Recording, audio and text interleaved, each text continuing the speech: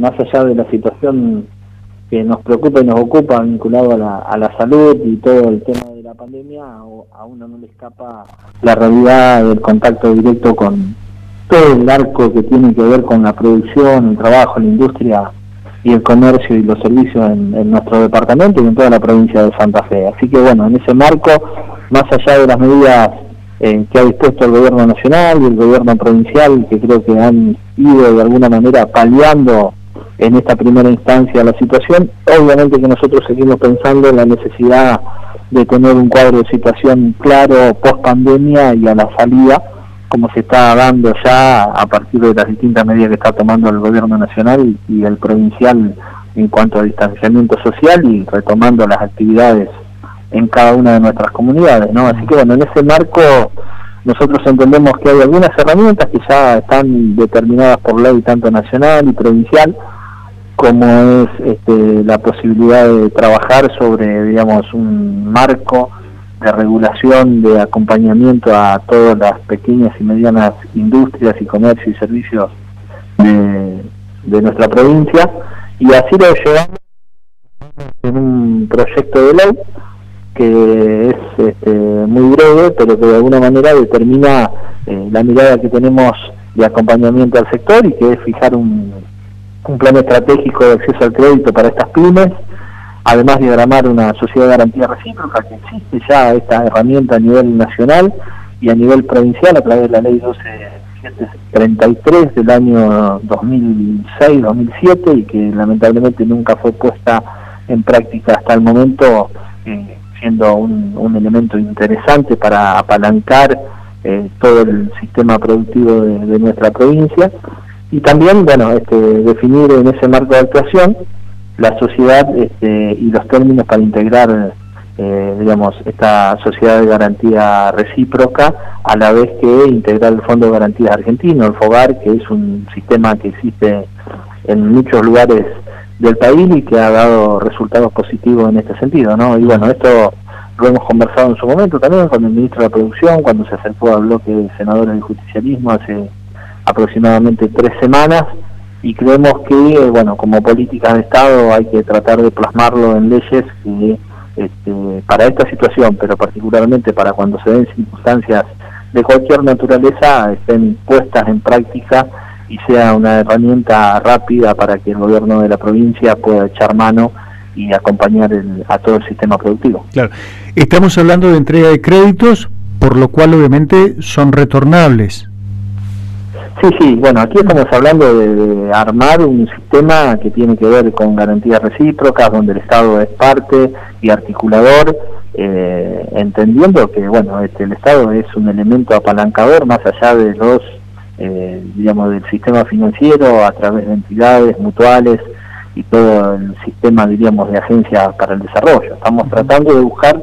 eh, que se generen nuevas herramientas que obviamente necesitan también de ser sujetos de crédito, pero que en definitiva, bueno, este viene a cubrir un espacio eh, en cuanto a la flexibilidad también de muchas cuestiones que por allí cuando se dan en el sistema financiero eh, se ven impedidas finalmente de poder eh, obtener sus créditos en cada una de las empresas producto de digamos de las eh, digamos, de las demandas de las entidades financieras a la hora de este, definirlo como un sujeto de, de crédito posible para otorgarle eh, el financiamiento. ¿no? Claro. Eh, hay como un sector de la sociedad que quedó, eh, no sé si desprotegido es el término adecuado, pero como que no, no encaja en ninguna canasta, para decirlo vulgarmente. No está ni dentro de los 10 mil pesos, ni está dentro de este, las acciones para los monotributistas, porque dice, esto el Estado me, me, me, ayuda, pero no sé cómo lo voy a poder pagar. Este, los créditos a nivel provincial, bueno, trascendieron la semana pasada las características que tiene pero algunos están temerosos en cuanto a, este, a, tomarlos, o algunos dicen, este, bueno, pero esto el Estado después no me va a pedir algo a cambio, eh, porque hay mucha gente que no está acostumbrada a recibir ayuda, y tres meses sin trabajar y sin que ingresen recursos, me parece que, que, esto que está planteando, este, eh, tiene mucho sentido, ¿no? Ojalá se, digo, este, se materialice rápidamente. Sí, el desafío es justamente ese, que llegue a quienes lo necesitan y, de la manera más rápida. Allí es donde siempre el Estado este, tiene una falencia importante, más allá de medidas acertadas por parte del gobierno nacional y del gobierno provincial en este tiempo. Y es cierto esto que lo conversamos, creo, la última vez que estuvimos en comunicación. Hay una naturaleza de sectores que han quedado desprotegidos que no son los más vulnerables o los que normalmente se dan ante una situación de, emergencia económica o bueno este, puede ser por inundación o, por sequía digamos como sucede muchas veces en nuestro territorio. Estamos hablando de, otra naturaleza de sectores eh, en su momento eh, hablábamos de, de, los albañiles, de los peones de albañiles, y hay sectores que verdaderamente en este marco de la pandemia y de las medidas nacionales para intentar resguardar digamos, los efectos del coronavirus han impactado fuertemente y eso tiene que ver con, bueno, los sectores que de alguna manera a partir de hoy se empiezan a liberar, pero que nosotros entendemos tienen que tener ayuda. Y en esto, bueno, este, remarcar, y sé que, digamos, todos los medios de comunicación son de, muchísima utilidad en, el acceso a la página del gobierno de la provincia, allí, digamos, todas aquellas actividades vinculadas a gimnasios, este, jardines maternales, institutos privados de, educación, eh, bares, restaurantes, eh, que de alguna manera han estado cerrados total o parcialmente, bueno, hay medidas de alguna manera de ayudas este, que son complementarias a aquellas que han tenido, digamos, ayuda por parte del gobierno nacional. Estamos hablando de gimnasios, centros de pilates y yoga, salas de baile y de danza, escuelas de artes marciales o de boxeo, canchas de fútbol 5 de pádel, peloteros, salones privados para eventos, transportes escolares, escuelas de conductores, jardines maternales, talleres y salas culturales, entre otros. Sí, así es. Eh, bueno, eh, como ves es un espectro importante y en esto también remarcar que tiene que ver con los que estuvieron totalmente cerrados. Hay algunos que lo estuvieron porque tuvieron la posibilidad de, modalidades, eh, digamos, parciales que no están contemplados aquí y que estamos haciendo las gestiones para que tengan de, alguna manera alguna ayuda. Y también, bueno, este, a través de la Agencia para el Desarrollo hemos podido gestionar este, junto a otras instituciones de la provincia de Santa Fe, el gobernador lo anunció, era un fondo de 125 millones de pesos. En las colonias esa asignación hemos logrado que sea de 10 millones de pesos para créditos, eh, en este caso sí, con devolución, que son a 18 meses, con 6 meses de gracia, con una tasa anual del 13,5 eh, para luego devolver en 12 meses, en los 12 meses restantes, están destinados exclusivo y directamente a aquellas actividades que tienen que ver con eh, las que han estado cerradas totalmente o de manera parcial, eh, como es el caso de bares, restaurantes, la suma es hasta 150 mil pesos. Bueno, son distintas medidas que está tratando el Estado provincial en concordancia y coordinación con los comités de emergencia de cada departamento poner a disposición para afrontar esta situación que sabemos que es muy difícil y que ha pegado en muchos sectores de manera extrema. ¿no? La última, senador, eh, el objetivo es ponerlo rápidamente en, vigencia de la manera este, menos burocrática posible, que eso es lo que está reclamando la sociedad, ¿no?